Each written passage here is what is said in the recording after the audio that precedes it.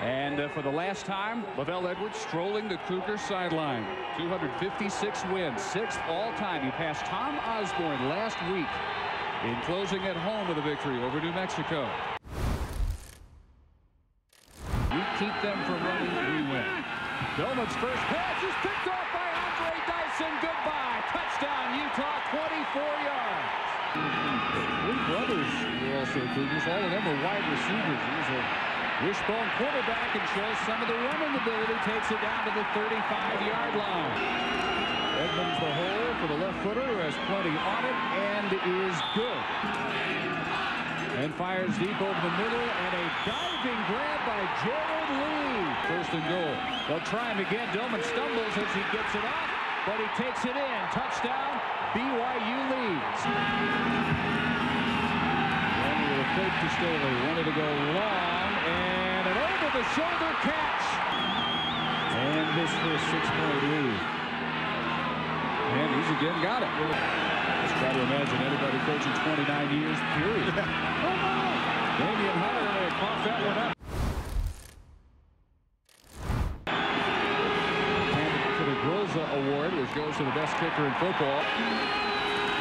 Again stumbles as he gets it off. Staley has a hard time picking that one up. Has not missed yet. He's a 23-yarder, and he is still perfect. Third and seven. They pick that many third downs, but here they get Christensen loose over the middle. And he may go. Dustin Staley with an angle gets him at the 25. And they play but he's been equal to the task. Third and five for Rice. Four out of six on the year for Kaneshiro, and no problem with this one. Third and a little less than one. Damian Hunter, no. A loss of one. And Doman cuts it back and look at all the room toward the middle of the field. Got a nice open field block out there by Mike Rigel. They say about him now, I've never seen a more determined kid. Doman deep wide open for a touchdown goes Mike Rigel. And they've seen enough of Lance Rice for now. Darnell Arceneaux, the senior out of Honolulu. Goes deep out of the shotgun, and he finds Cliff Russell inside the 30. Which would have won it for the use of the 26-24 Cougar win. This one is straight through in the fourth quarter. Arceneaux going deep. Nice catch. Christensen's made him all night over the middle. He's still going. They can get a first down just inside the four. Arceneaux will throw the fade again into the end zone, and this time there will be a flag. It'll be thrown on Danny Phillips. Intended for Russell again. And this time they're going to get the flag because the ball was on line this time, and the and the DB never looked back. The lone back. And takes the handoff. In for the touchdown. So is this one, but he handles it. And a much better kick. He backs Smith up to his 32.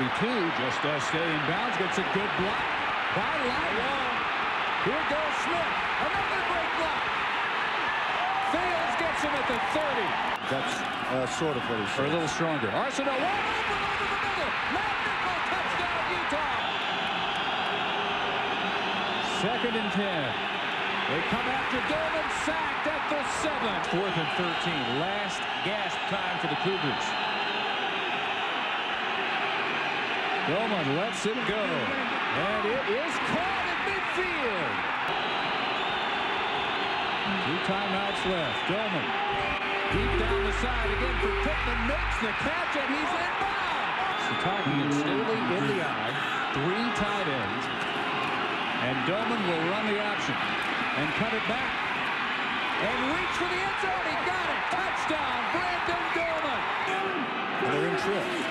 And it's a sprint out. Two for two. Doman to the end zone. It is caught by Soren Halliday. Thank you, LaVell. That's the LaVell Edwards mark. from a football perspective, ph philosophy. Not talking about throwing the football. I'm talking about we don't give up. That's the way the guys play. And it is such a lesson to everybody who cares about this sport and about young people.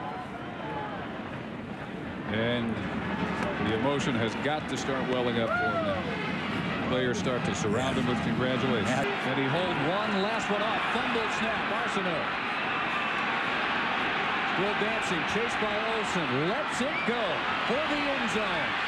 Batted down. It is over. BYU wins it for LaVell Edwards. And he gets the victorious ride after number 257.